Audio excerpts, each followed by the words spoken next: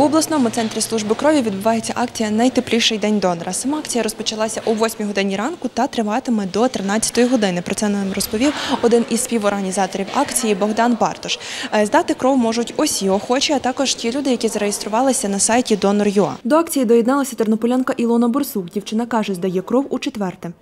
Бачила інформацію, що потрібна кров, і прийшла і вирішила доєднатися. Це дуже важливо, тому що кожна людина може якимось чином допомогти комусь інакшому, чи то дітки, чи це військові, неважливо. Просто деколи людям не вистачає часу чи ресурсу допомогти, так вони можуть допомогти, хоча б тим, що є в їхньому організмі. 35-й раз кров здає співорганізатор акції Богдан Бартош. Чоловік каже, кров збирають для дітей, які лікують у відділенні онкогематології обласного диспансеру. Після того, коли людина здає, е, ми запрошуємо взяти участь в лотереї. Е, Маємо е, мішочок, де людина витягає пірчик, і на якому буде якраз вписано, що людина якраз виграла. Здав кров тернополянин Віталій Левчук. Чоловік каже, разом з родиною підготував подарунок для онкохворих дітей. Це записнички, такі ляльки. І ще різні різдвяні, прикольні подарунки. Я думаю, що це дасть можливість е, діткам, які хворіють,